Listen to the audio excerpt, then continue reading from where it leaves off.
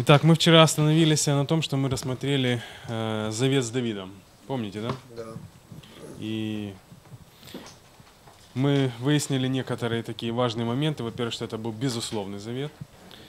И что он состоял из таких основных значений. Это что э, Бог сказал Давиду, что твой дом устоит на престоле, да, твой трон и, и твое царство. То есть, что царство Давида, трон Давидов, именно из его э, родословия да, должен быть тот, кто восядет на престоле и будет только его занимать. Последний вопрос, который был э, занят, э, задан, как брат Сергей зовут, да? Сергей. Сергей, да? Да, по поводу пророков, да, по поводу пророков. Мы потом с ним объяснились, я понял, что за вопрос. Таких пророков, которые которые были записаны в Слово Божье, нет уже. Потому что Слово Божье было закончено, ну, писаться книгой Иоанна. То есть таких, которые бы записались бы еще в Библию, уже таких пророков нету. Такого слова. Понятно, да? Это? А вот. Это ясно или нет? А вот. И Иоанн заканчивает, помните, книгу как, да?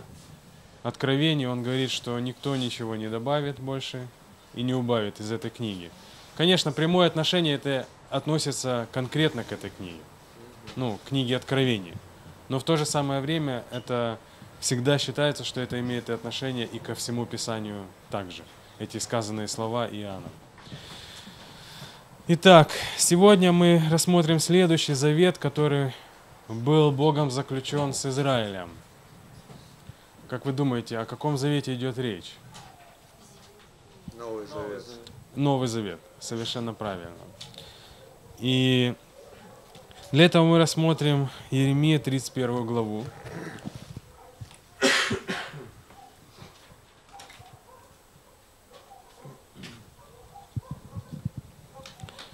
Давайте прочитаем в начале 31 стих.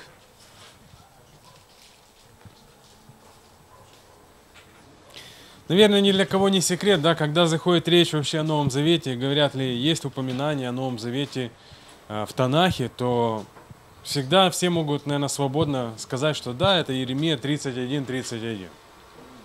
Это общая, как бы известная, ну, э, формулировка, да, общеизвестное принятое понятие.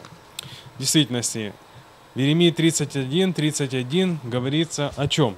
Кто готов читать?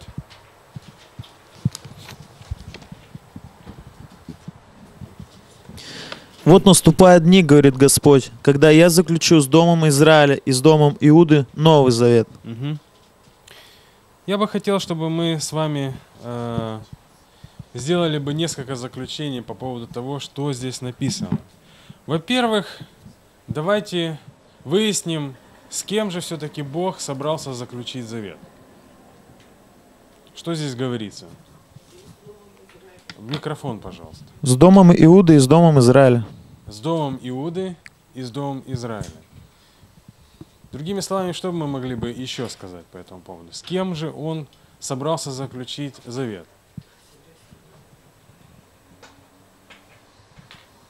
Только со своим народом. Другими словами, могли бы сказать, что он собрался заключить завет со всеми двенадцатью коленами. Вы можете с этим согласиться? Да, да. То есть здесь конкретное обращение, которое Бог говорит, что Он заключает этот Новый Завет, да, который наступает со всеми двенадцатью коленами. Уже на тот момент, когда Иеремия пророчествовал, мы знаем, что 10 колен уже были затеряны. И по сегодняшний день никто не знает, где они находятся. Вы понимаете, да? Но Иеремия, пророчествуя тогда, уже говорит о том, что наступит такой день, когда Бог заключить завет со всеми двенадцатью коленами. Это говорит о том, что мы не знаем, и все продолжают искать и не могут понять, куда же делись еще 10 колен. Но Бог знает, где точно находятся эти 10 колен. И Он говорит, что Он со всем Израилем, который будет включать все 12 колен, заключит этот Новый Завет. Это, это понятно, да? А, знаете, сегодня многие христиане говорят о том, что Бог вообще заключает Новый Завет с церковью. И утверждение как бы основывается в основном на том, что записано в Евреях 8 главе, 8 стихе. Давайте откроем. Евреи 8 глава с 8 стиха.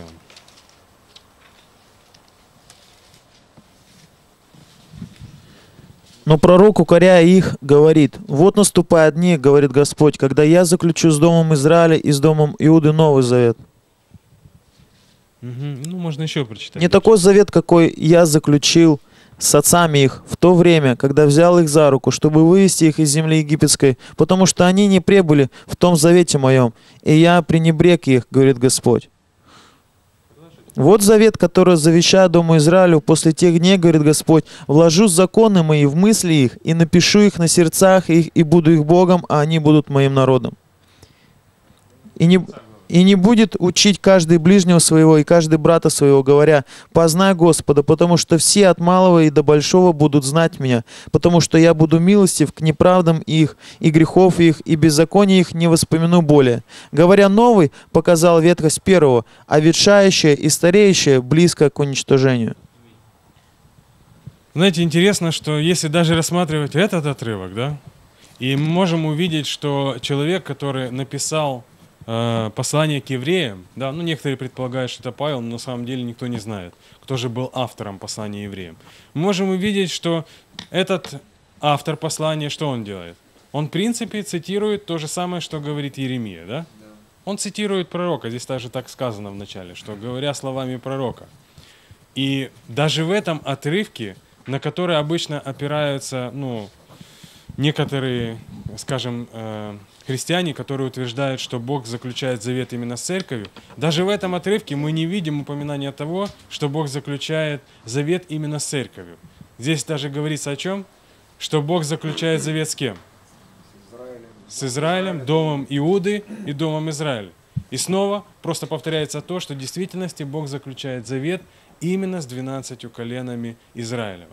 То есть со всем Израилем вместе, со всем народом вместе. И тот, который известен нам сегодня, и тот, которого мы не можем найти. Но он будет найден Богом в то время, когда это будет необходимо. Аминь. А, Я могу сказать, что это также является безусловным заветом. Многие утверждают о том, что Новый Завет является условным, да, что должны быть определенные вещи. Но на самом деле из того, что написано здесь, в послании к Иеремии, можно понять, что Новый Завет, о котором говорит Бог в отношении Израиля, он также является безусловным. Потому что Бог говорит о том, что наступит этот день, и это совершится. И это будет. Вы понимаете, да? Да. То есть нету условия, если вы будете там и так далее, да? То есть Бог говорит конкретно, направленно, что наступает этот день, и это произойдет, потому что я так хочу. То есть это, и поэтому это и называется также безусловным заветом. Это намерение действия Бога, которое никто не может отменить. Да, то есть Бог сказал, и Бог это сделает. И ничего по-другому не может быть. Почему же все-таки Бог говорит о том, что Он приходит такое время, что Он собирается заключить с Домом Израиля и с Домом Иуды Новый Завет? Ну, 32 стих как бы служит нам ответом, да? Пожалуйста, кто-нибудь читайте. Иеремия 31, 32. Вот не такой завет, как я заключил с отцами их в тот день, когда взял их за руку, чтобы вывести их из земли египетской. Тот завет мой они нарушили, хотя я оставался в союзе с ними, говорит Господь. Итак, Бог говорит о чем? Что завет Моисеев, да? Знаете, если мы даже вспомним э, слова Павла, который говорит о Моисеевом завете, да, никогда Павел не говорит о том, что Моисеев завет был плох. Вы помните, да? Он говорит наоборот, что свят. Но проблема в чем заключалась? В самом завете. Проблема заключалась в отношениях людей в этом завете, в отношениях их с Богом через этот завет. И Бог здесь также говорит о том, что проблема заключена была в том, что вы нарушили завет мой. я оставался верен, говорит Бог, да, но вы нарушили завет мой. Поэтому он говорит, что вводится новый завет. И видите, интересно, что тот завет могли нарушить. Здесь не говорится о том, что будет нарушение этого завета, не будет этого нарушения завета. Да? Здесь говорится, что этот завет вводится, и он будет конкретным. И как следующий этап, он будет говорить о том, что, ну сейчас мы будем читать, значит, нарушение завета не будет в данном случае, да, потому что после этого, если мы посмотрим, что начиная с 30 главы, 30 и 31 глава – это то откровение, которое Еремия получает о последнем дне. О дне Господнем, как еще называют его. То откровение, где пишется, что Израиль будет собран вместе, и наступает это время, когда Израиль больше не будет находиться в посрамлении – и наоборот все враги будут находиться в посрамлении и так далее. То есть Бог станет защитой, Бог исцелит рану, Бог исцелит всех болящих и так далее. То есть и вот приходит это время к Новому Завету. Вот это наступает этот период. Знаете, можно сказать, что Новый Завет имеет два раздела, о которых здесь говорится э, в этой 31 главе книги Еремии. Один раздел – это физические и материальные характеристики, или можно было бы сказать физические и материальные благословения, которые будут истекать из этого Нового Завета. Отмечайте себе, да? Физические, материальные благословения, которые будут истекать из этого Нового Завета. Я бы хотел задать вопрос – Скажите, в свете Нового Завета сегодня, имеем ли мы с вами все физические и материальные благословения? Ну, полноту, я бы так сказал, физических и материальных благословений. Имеем ли мы сегодня?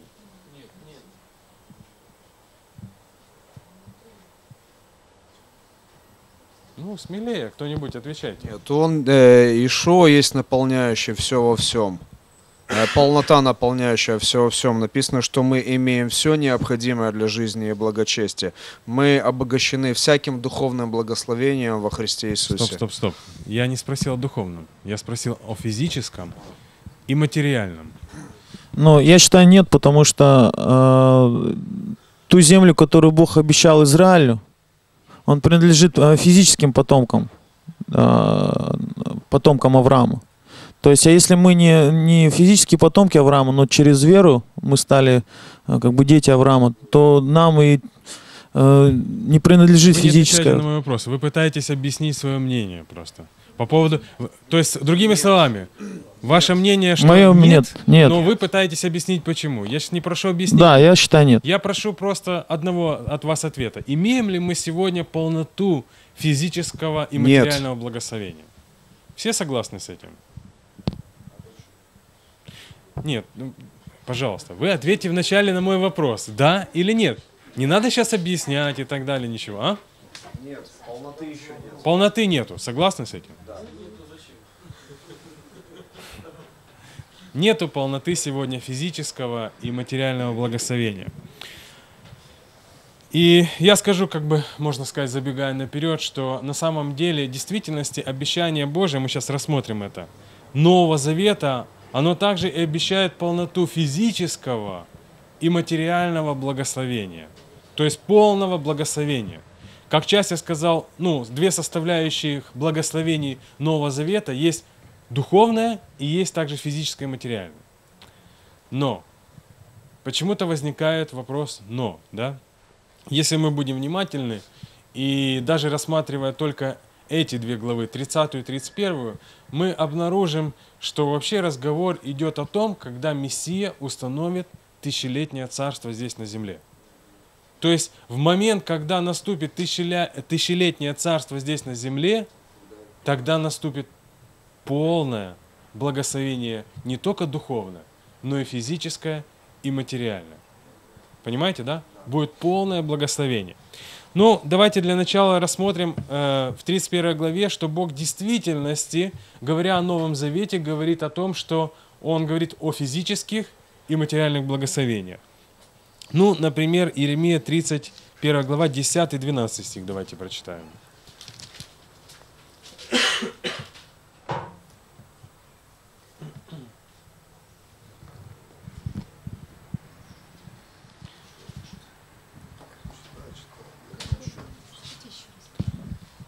Иеремия 31, 10-12.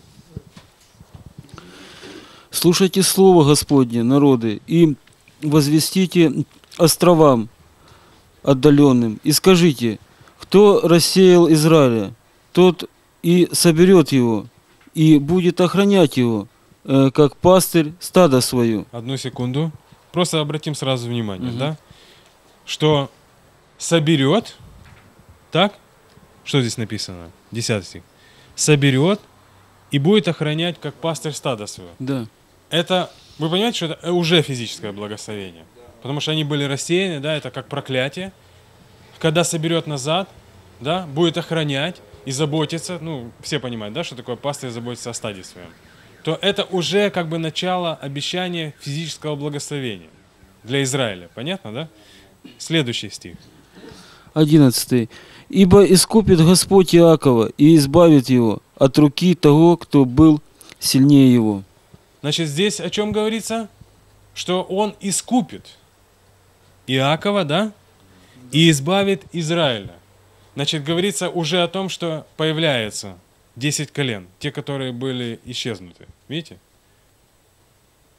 На, на, на, ну, на, на фоне... Да, э, вы а, говорит об Израиле, значит, о 12 коленах. Да, э, да. Потому что здесь упоминается Иаков. Иаков это, Да. это, это э, все 12 Да, да, колен, да, да. То есть, видите, появляется, значит, что появляется? Появляется 10 колен, которые исчезнувшие. Мы видим, что это продолжение чего? Физического благословения. Дальше. И придут они, и будут э, торжествовать на высотах Сиона, и стекутся э, благословения Господа. к, эм, что? От слова благость. А, благостные Господа к э, п- пшенице и к вину, и елею, и агнцам, и водам, и душа их будет, э, как э, наполненный водою сад, и они не будут э, уже более томиться. Итак, а здесь разворачивается все физическое благословение вообще в полной мере, да? То есть, что в действительности физическое и материальное полное благословение говорит о чем? Что когда они придут, да, что они будут торжествовать. Вы понимаете, что такое торжествовать, да? Это значит даже не просто радоваться и веселиться, да? Это уже сверх как бы всего, да? То есть это, можно сказать, когда одержаны лучшие победы, да? Когда все на полной высоте, тогда человек может торжествовать, да? Что все, уже больше нету ничего, как бы, о чем можно было подумать худшего, да? То есть наступает период, когда приходит торжество в жизнь. Вот. И в результате этого торжества на высотах Сиона они стекаются в благости Господней, видите, да? И благость Господня, она заключена в том, что они, ну прямо так он пишет, интересно, что к пшенице, да? То есть перечисляет вроде бы обычные такие, ну как бы материальные. Мы как духовные люди вообще не должны об этом думать, да? Так, как сегодня утверждается, да? Вот. Но смотрите, здесь Бог говорит о таких вещах, да, что как бы к чему? Пшеницы. То есть это, это говорит не просто, что там будет пшеничка, да? Пшеница это значит изобилие. Пшеницы, вину, елею, кагнцам, валам. И написано, и душа их будет как напоенный водой сад, и они не будут уже более томиться. Это означает что? Не будет уже никакой, знаете, там состояния скорби, да, разочарования, нужды никакой не будет, потому что все будет не просто в достатке, а в изобилии. Вы понимаете разницу, да? Достаток – это когда у вас есть столько, сколько вам как бы нужно на сегодняшний день, да? А вот изобилие – это когда уже сверх всего. То есть вы приходите к такому состоянию, что как бы вас это вообще не, больше не беспокоит, и вы даже об этом не думаете, потому что это есть всегда. Понимаете, да? И он говорит, что, что состояние их будет такое, что То есть они будут как напоенный водою сад. И это все говорится о физическом. Все эти слова, которые Бог здесь говорит, Он говорит только о физическом и материальном. Здесь вообще нету сейчас разговора о духовном. Видите, да? Все говорится только о физическом и материальном. И он начинает с этого, что все как бы восстановится.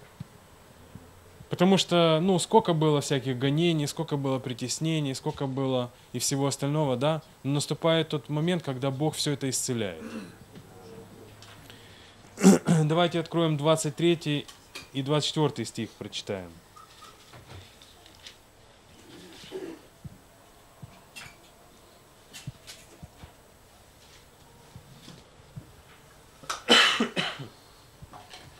Кто готов прочитать?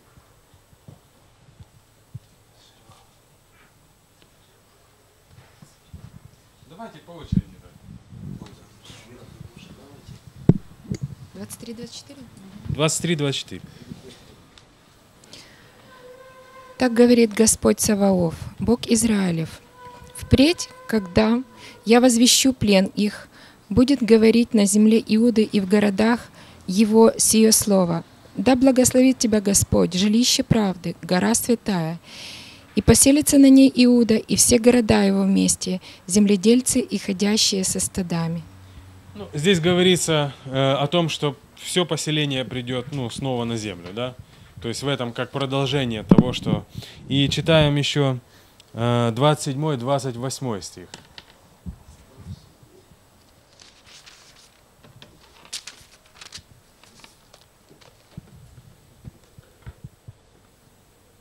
Двадцать седьмой, двадцать восьмой стих. Вот наступают дни, говорит Господь, когда я засею дом Израилев и дом и Иудин семенем человека и семенем скота. И как я наблюдал за ними, искореняя и сокрушая, э, разрушая и погубляя, и подвергая, э, под, э, повреждая, э, так будут наблюдать за нами, соз- созидая и насаждая, говорит Господь. Здесь говорится продолжение да, этого физического благословения о том, что все 12 будут собраны вместе. Также еще 35 и 37 стих мы прочитаем.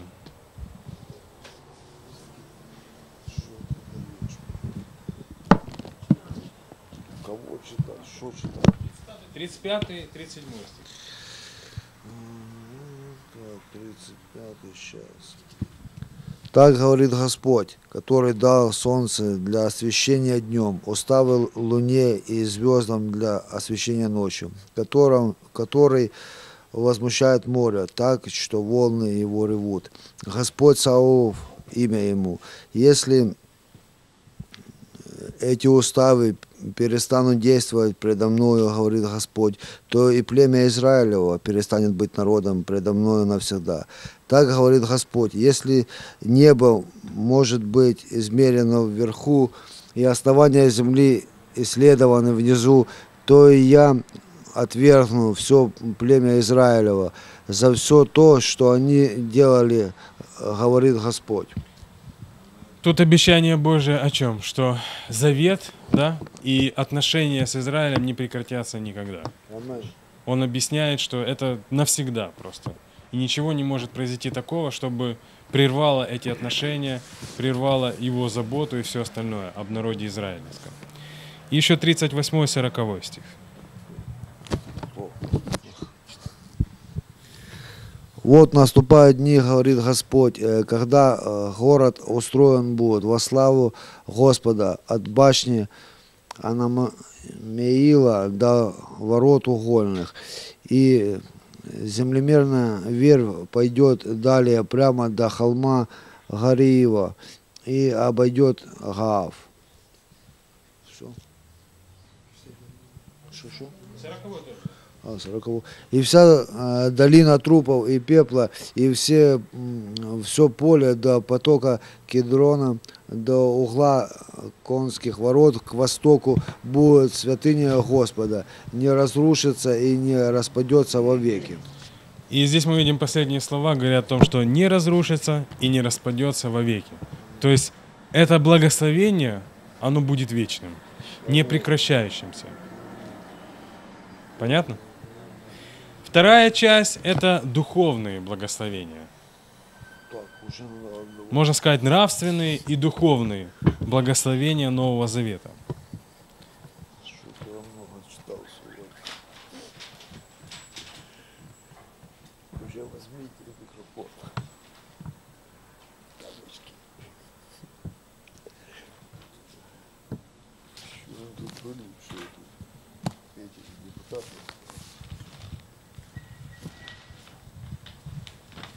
Нам уже передали. И тут же следует вопрос. Как вы считаете, сегодня имеем ли мы все духовные благословения в Новом Завете?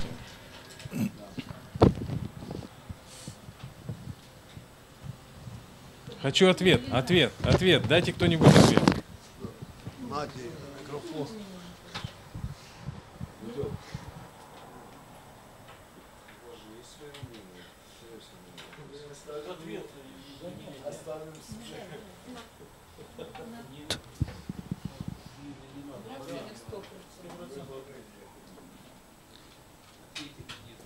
Есть? Нет? Где? Нет. Нет, да? На самом деле мы имеем все духовные благословения в Новом Завете на сегодняшний день. А нравственное? В Новом Завете и нравственные тоже. Мы имеем все духовные и нравственные благословения. Итак, для того, чтобы нам понять вообще смысл, смысл происходящего, да, нам нужно снова вернуться к приходу Ишо. Если бы, помните, я задал вам вопрос, если бы Синедрион принял бы Ишуа, то что бы произошло? Наступило бы тысячелетнее царство. Помните, да, я сказал вам. Если бы Синедрион принял бы, да, то наступило бы тысячелетнее царство, и Ишуа воцарился бы как царь. В таком случае пришли бы все духовные и все физические благословения, которые были обещаны Богом на народ израильский. Все бы произошло именно бы в тот момент. Но, знаете, тогда, когда Синедрион не принял Ишуа как Мессию, как царя, ну, Бога это не застало врасплох, скажем так. И Бог в своем роде, можно сказать, что видоизменил поступление Нового Завета сюда. Физические и, дух, и э, эти физические и материальные благословения, они остались в обещании к тысячелетнему царству. То есть сегодня мы получаем что-то частями. Понимаете, да? Нельзя сказать, что их нету вообще. Но их нету в полноте, как и было обещано. То есть мы получаем частями эти э, благословения. Например, если говорится о том, что не будет больше болезней, да, то сегодня мы продолжаем болеть, да? Но с другой стороны, мы получаем как частями благословения то, что Бог сказал, можете молиться, да, и кто-то будет исцелен. Но если в конце концов вы помолились и не исцелились, да, можно обратиться к врачу. Это тоже не грех. Сегодня Бог действует и через молитву, и через врачей также. Но это говорит о том, что сегодня частями, знаете, есть эти физические благословения через Новый Завет. Их нету в полной мере. Они будут, когда наступит тысячелетнее царство. А что же говорится все-таки о духовных благословениях?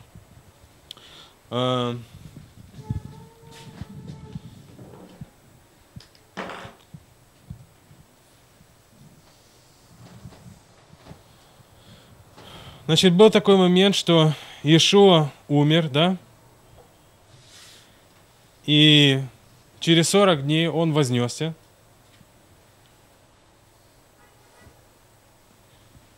Вознесение Иешуа было. Для всех это знакомая да, информация? Через 10 дней сбывается его обещание. После его э, вознесения. На землю приходит кто? Дух Святой. День Пятидесятницы. И Шавуот, да.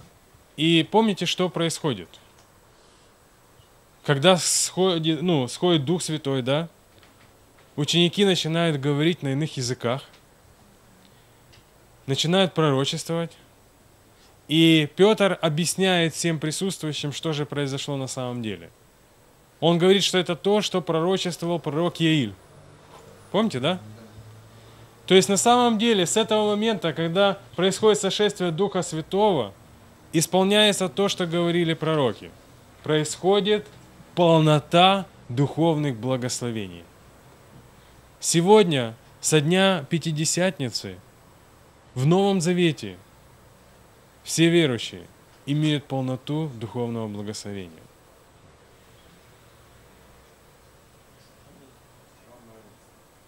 Понятно это, да?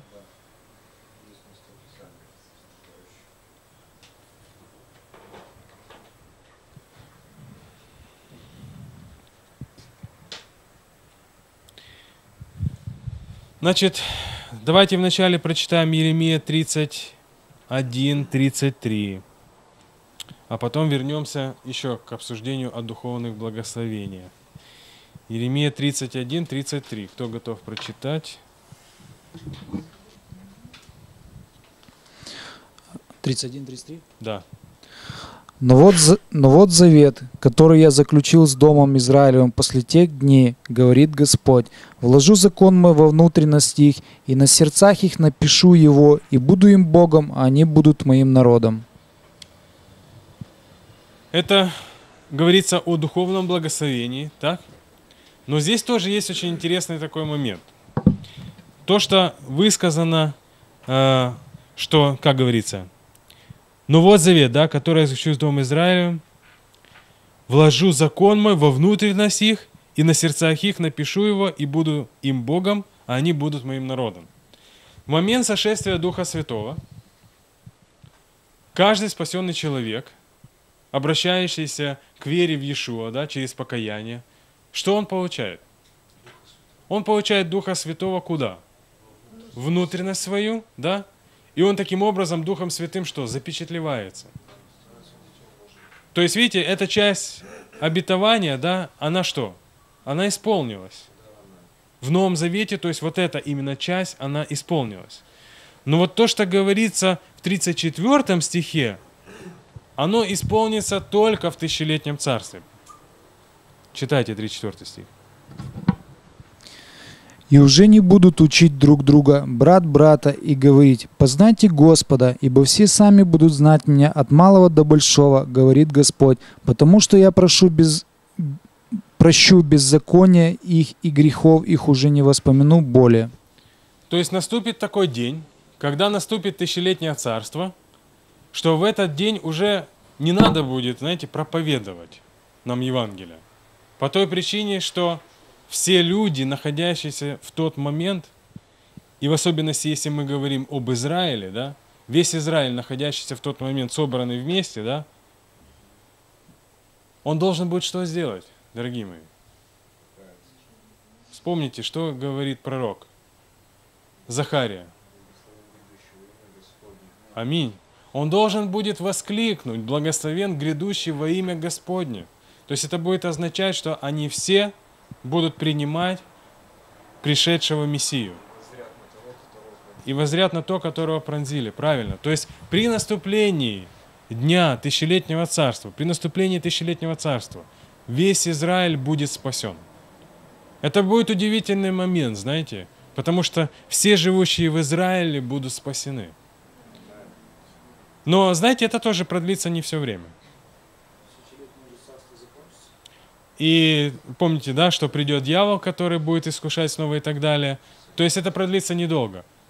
А самая простая проблема, которая будет существовать, это что у верующих родителей родятся дети, которым нужно будет проповедовать. Понятно? Да, совершенно правильно. То есть сегодня мы имеем такую проблему, да? И в тысячелетнем царстве те, кто будут жить, будут иметь такую же самую проблему. Думаю, там это будет не проблема, потому что постоянно будут приходить на поклонение в Иерусалим, лично видеть Ишуа. Но если вы прочитаете Откровение дальше, то вы увидите, что это на самом деле стало, оказывается, проблемой в итоге. Даже находясь при Ишуа, все вокруг, да, появилось огромное количество неверующих людей. Понятно, да? В момент, когда Ишуа был здесь на земле, не все следовали за ним. Ну, Я думаю, что там проблема будет заключаться в том, что человеческая природа проявится э, во всей полноте. То есть при самых идеальных условиях, при изобилии благодати, при личном общении с Господом Ишуа, все-таки дьяволу удастся совратить многие народы и поднять бунт против него. И, тем сам... и там даже не будет никаких разборок, там просто огонь пойдет с неба на бунтарей и сожжет их. ну мы это будем обсуждать еще. Хорошо. Но сам факт, вы поняли, да, мысль того, что в момент пришествия Мессии, да, наступления тысячелетнего царства, дом Израилев, весь дом Израилев, в этот момент будет спасен. Все будут верующими. И здесь написано, это, это, это благословение, которое будет к дому Израилеву. Что все будут спасены, все будут знать его в этот момент.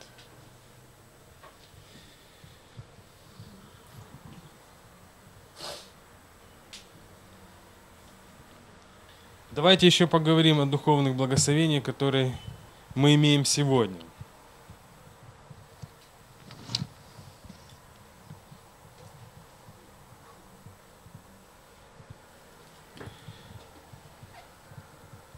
Итак, мы уже ответили, да, что физические благословения сегодня мы не имеем в полной мере. То есть частично они появляются да, в жизни верующих людей. На этом мы все сказали уже аминь, да? И, знаете, можно обратиться к тому, что в действительности даже Новый Завет нигде об этом не упоминает. Хоть сегодня, может быть, и проповедуется часто о том, что мы можем иметь полноту физического благословения. Но скажу вам, что это не есть истина.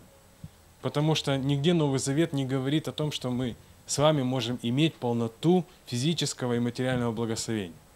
В действительности, что говорится, это о том, что могут быть покрыты все наши нужды. Аминь. Что Бог, заботясь о нас, Он покроет все наши нужды.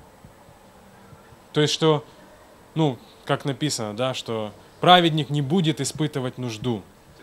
Ну, ну, в каком смысле? То есть, иногда мы можем и нужду испытывать также, это тоже нормально, да? Но в смысле того, что мы не будем прямо, ну, там, Это как Израиль в пустыне. Все его нужды были покрыты для того, чтобы народ был сохранен к моменту входа в землю обетованную. Согласен. А, Павел, есть такое хорошее выражение, которое записано в Филиппийцах 4.19. Он как раз говорит о покрытии а, всех нужд. Как благословение он выражает это по отношению к филиппийцам. Послание к филиппийцам 4.19.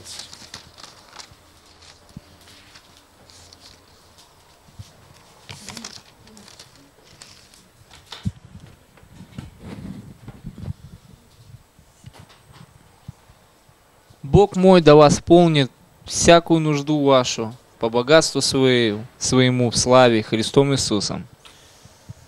Это благословение, которое Павел передает филиппийцам, видите, да? То есть что... И посмотрите, что интересно, что даже свое благословение, он не говорит ни о каком изобилии, да? Он говорит о том, что Бог восполнит всякую нужду вашу. То есть он говорит о том, что благословение, оно уже заключено в том, что будет просто восполнена всякая нужда наша. То есть сегодня Бог дает и кому-то больше, чем другим, да? Есть те, которые имеют и миллионы также. Но не каждый имеет миллион, да? Может быть, по одной той причине, что не каждый мог бы ним распорядиться. Правильно, да? Вот. То есть, поэтому Бог знает, кому что давать. Поэтому пускай в вашей жизни не будет огорчения или разочарования, что, что вы чего-то не получили, да? Знаете, что Бог даст вам столько, сколько вам на самом деле нужно, столько, чем вы можете распорядиться на самом деле. И то, что принесет благословение вам и окружающим людям. И не будет приносить вам какое-то горе. Потому что даже богатство, это является тоже большим искушением. Понятно это, да? Значит, поговорим немножечко еще о духовных благословениях. Значит, Ефесянам, первая глава, третий стих. Послание к Ефесянам, третья глава, третий стих.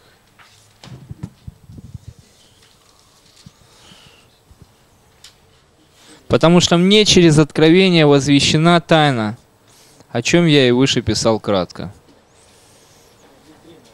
М. А, первая глава, третья. Первая глава, третий стих, да. Первая глава, третий стих. «Благословен Бог и Отец Господа нашего, Ишуа Мессии, благословивший нас во Христе всяким духовным благословением в небесах». Видите, что утверждает Павел? Он утверждает, что мы имеем что? Всякое духовное благословение. Он утверждает, что в действительности во Христе Иисусе мы имеем всякое духовное благословение. Поэтому пусть для вас это будет не новостью, да, о том, что в действительности в нем мы имеем любое, то есть мы имеем полноту духовного благословения.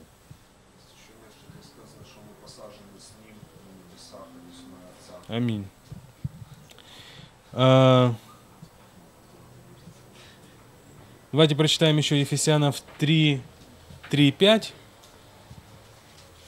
Ефесянам 3, 3 глава, с 3 по 5 стих. Потому что мне через откровение возвещена тайна, о чем я и выше писал кратко. То вы, читая, можете усмотреть мое разумение тайны Христовой, которая не была возвещена прежним поколениям сынов человеческих, как ныне открыто святым апостолом его и пророком Духом Святым.